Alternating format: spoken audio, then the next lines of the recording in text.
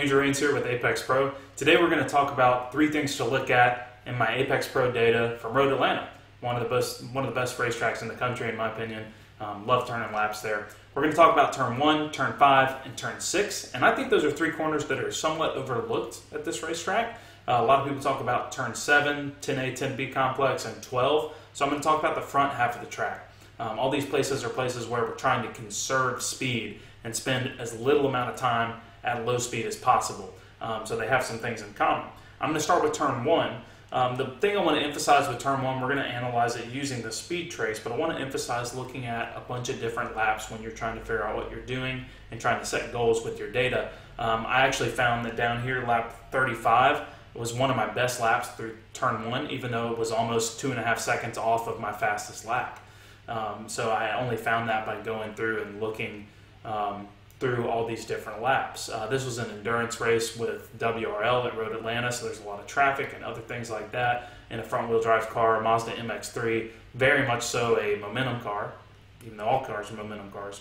Just a little background info. Right here you can see this is turn one, so that's braking for turn one. I'm going to pinch out, uh, pinch into the speed trace a little bit just to get a little more resolution because what I want to look at right here is where I'm braking. So the blue lap is lap 35.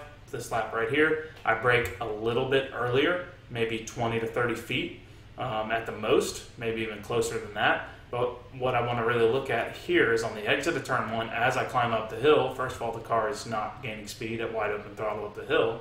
But second of all, I carried a higher speed all the way through the corner. We can see that there's less of a dip here when I overlay it down here with lap 33 uh, even though I braked later on lap 33. I had a better run down the front straightaway, so this was a better beginning to the lap in general. But I'm just trying to emphasize that turn one is not about braking as late as possible. You want to get in your threshold. If you're braking way too early, it is definitely going to affect your lap time.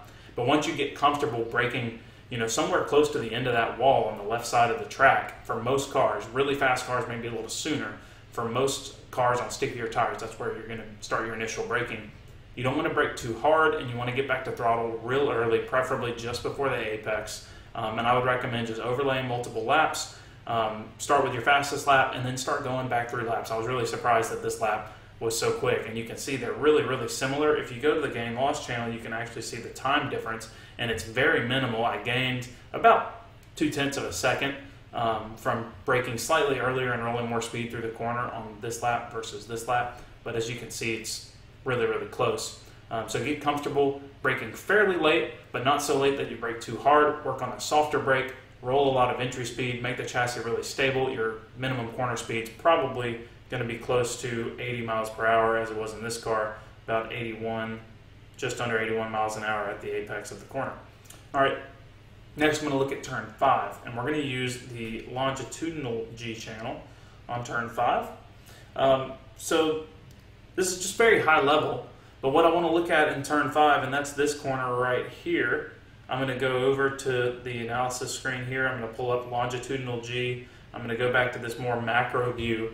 Uh, and now we see this very busy accelerometer readout here, uh, our accelerometer um, readings from, uh, you know, looking at longitudinal G. So negative below zero is going to be braking forces. Positive above zero is going to be acceleration forces. Um, that's driving down the hill. You can see how hard it's accelerating going down the hill right there. So my peak braking force should be right here. Um, and that's correct. That's turn 10A. So that's going down at your highest speed, uh, your hardest braking point on the track. That's threshold braking into 10A right there. Um, what I want to see in turn 5, and I'm going to move this, the slider forward until I'm at turn 5 so I can see where my deceleration force is for turn 5. It's right here.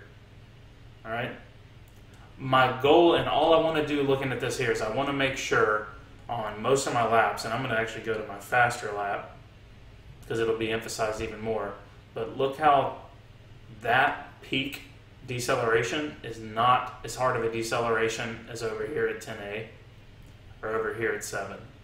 And that's important because turn five is not a super hard brake corner. It's really easy to brake too hard because it's uphill. So all I want you to do is go into long G and double check that you're not braking too hard. If this spike right here is equal to or, or greater uh, in deceleration than this one, work on a softer brake. If it's not, don't work on a softer brake. You're probably good. Just work on your cadence or your release of the brake pedal.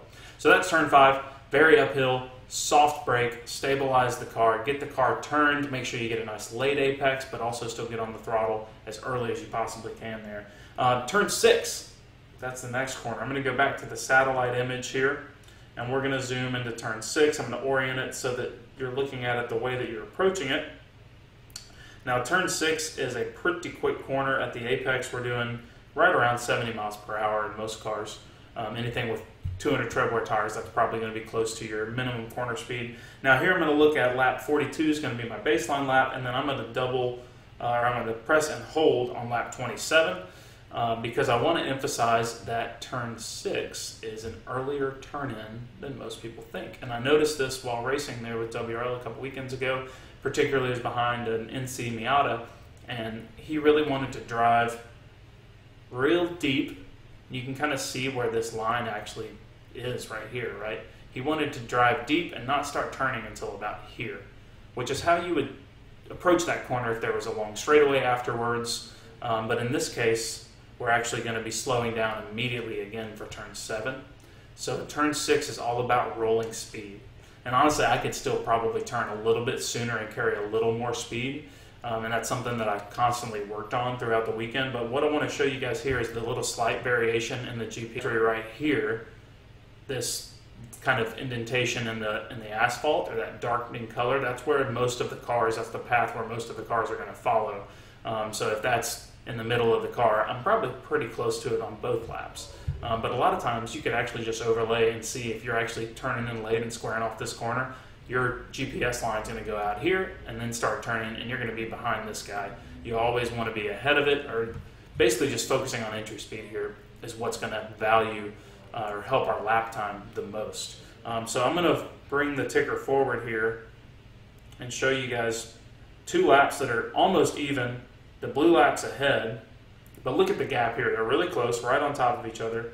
Turned in earlier, and I'm already pulling a gap didn't get to the throttle, but look at the exit. Because of that entry speed, look how far ahead I am on the lap where I rolled entry speed, which was the blue lap. The red lap I turned in slightly later and slowed a little bit more. That's going to help your lap time a whole lot more because in about 50 feet, we're going to be slamming on the brakes again, getting the car woed down for seven. Um, so turn six, if anybody tells you it's a late turn in, it's not. The reason it's not, um, one is because entry speed's all that matters because you're going to be braking again.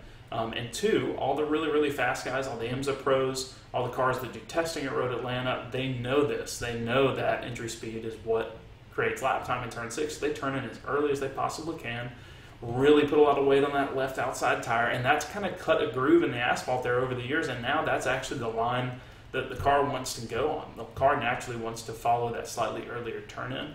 So don't fight the car, let it turn in a little bit earlier, and you'll find time in turn six. I hope this was helpful. I uh, hope you are enjoying using your Apex Pro. Let us know if you have any questions about anything.